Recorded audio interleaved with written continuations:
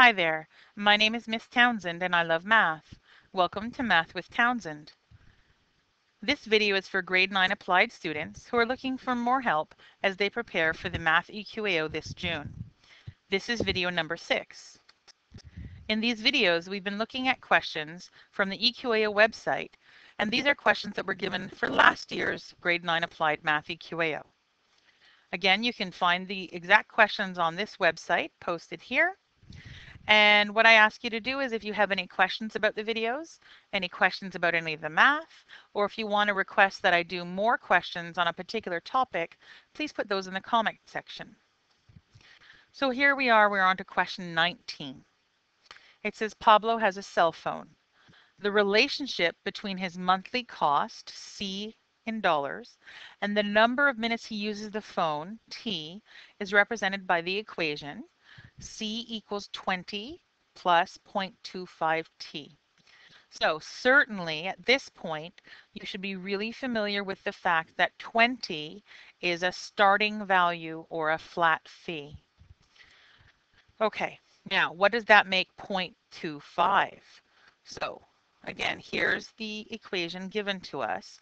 There are two parts to an equation. One part is the starting value or flat fee, and the other part is the rate of change or slope. The part that is attached to the variable, so in this case, the variable t has the number 0.25 attached to it. That's the slope or rate of change. The, the, the part of the equation that does not have a variable attached is the starting value or the initial fee, sometimes called a flat fee.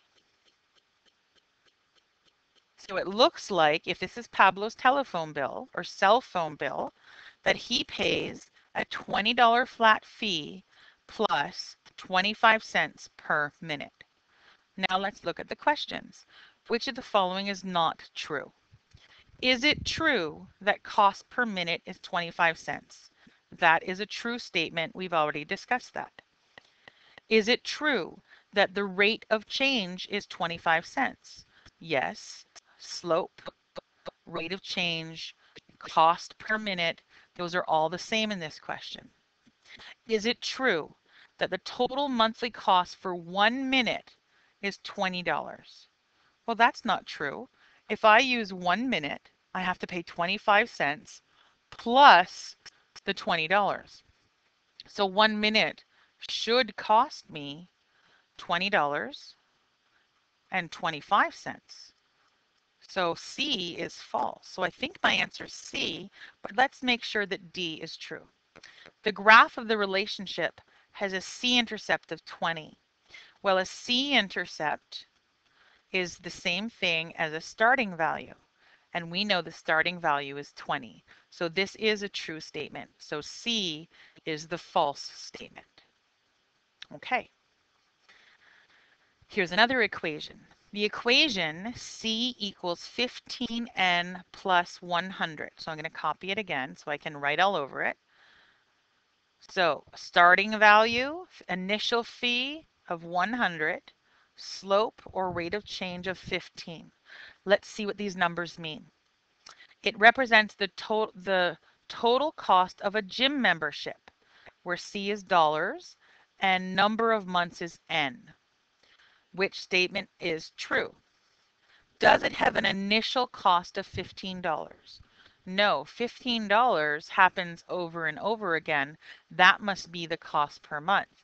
The initial value is 100. So this is a false statement. Does it cost $115 per month? Wow, that would be expensive. Every month, $115? No, you pay $100 once, not every month. This is a false statement. Does it have an initial cost of $15 and a fee of $100 per month? Those are almost true, but they're backwards. An initial cost of $15. That's what this would be that equation. If there was an initial cost of 15 and $100 per month, it would look like this.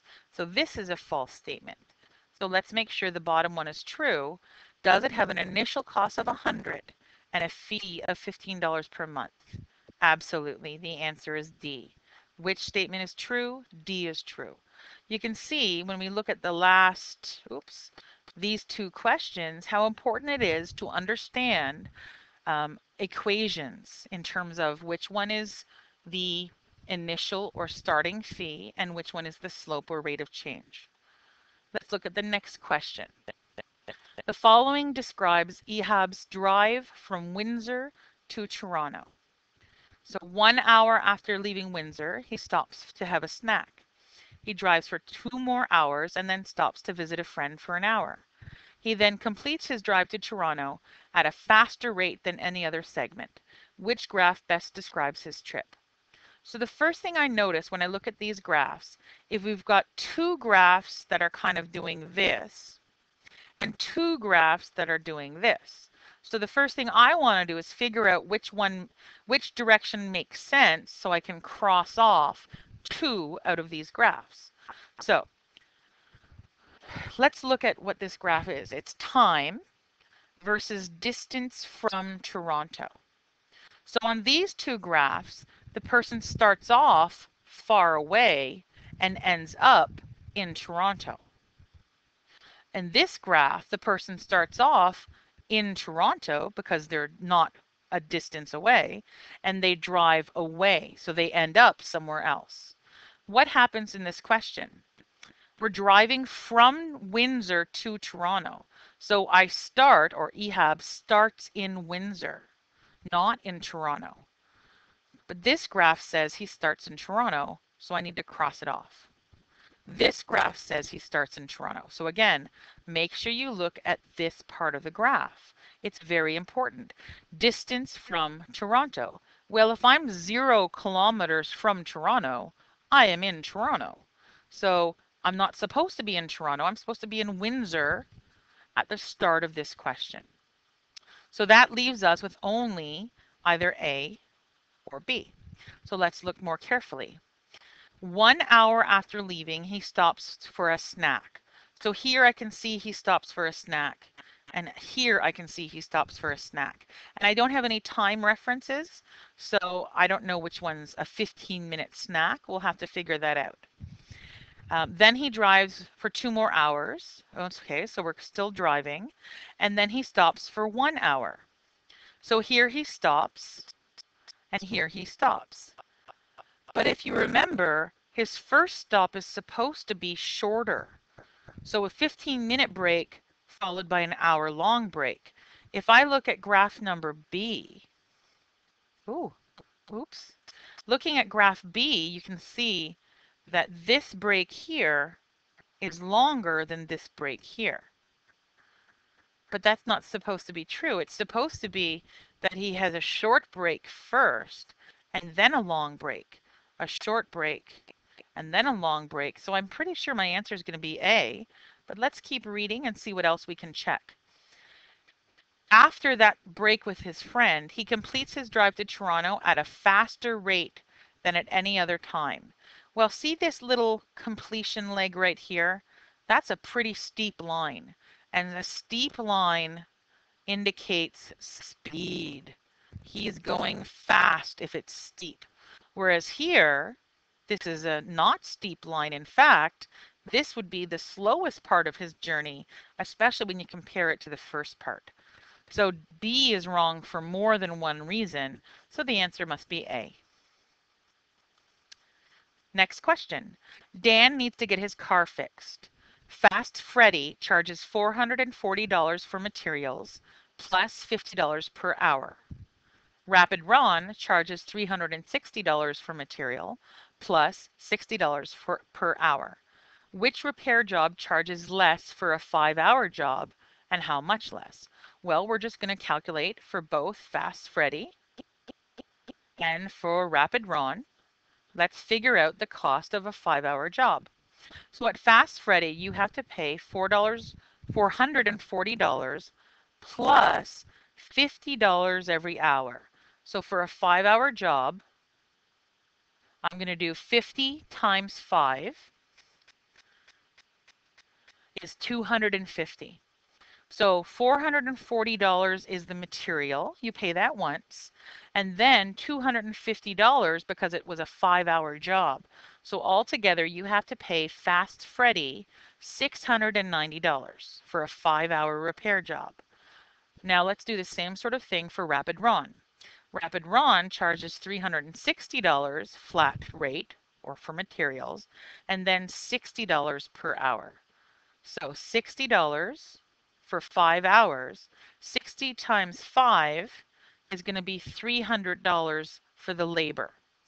And then adding together the $300 for the time plus plus $360 for materials give me $660. So who charges less? Rapid Ronnie. So cross this one off and cross this one off. Rapid Ronnie charges less. How much less? Well, the difference between these two numbers is $30. So Rapid Ron charges $30 less. There's your answer. Simple, just do the math.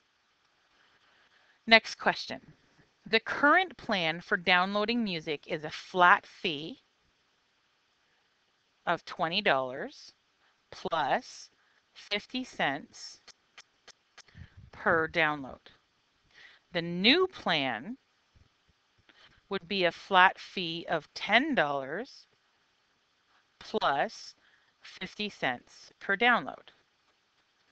So I haven't really written equations, but you should still see or be aware that this number here is my starting value. It's my flat fee.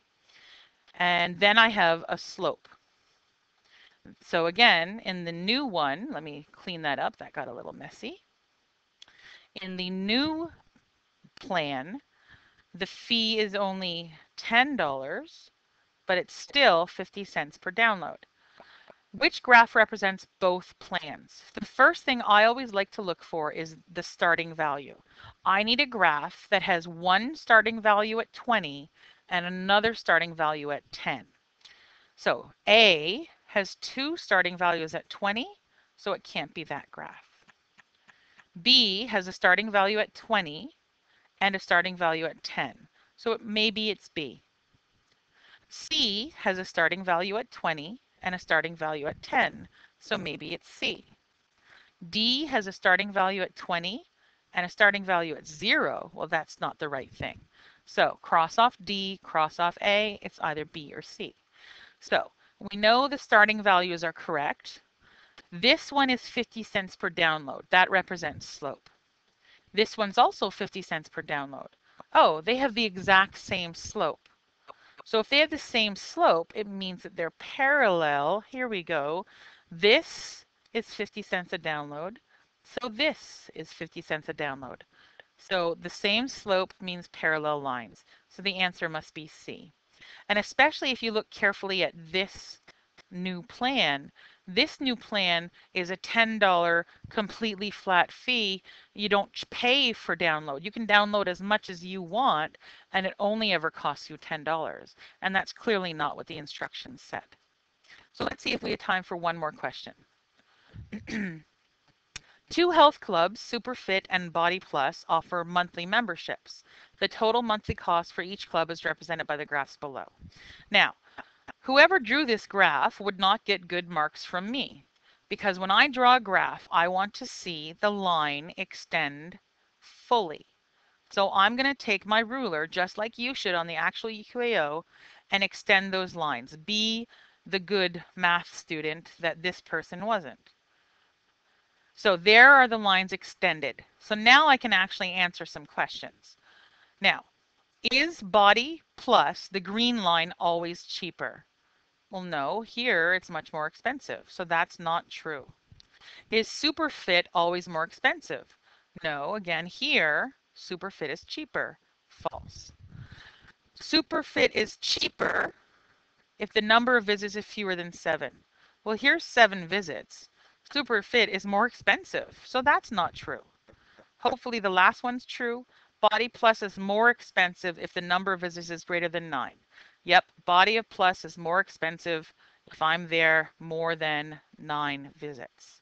So the answer is D. See you in the next video.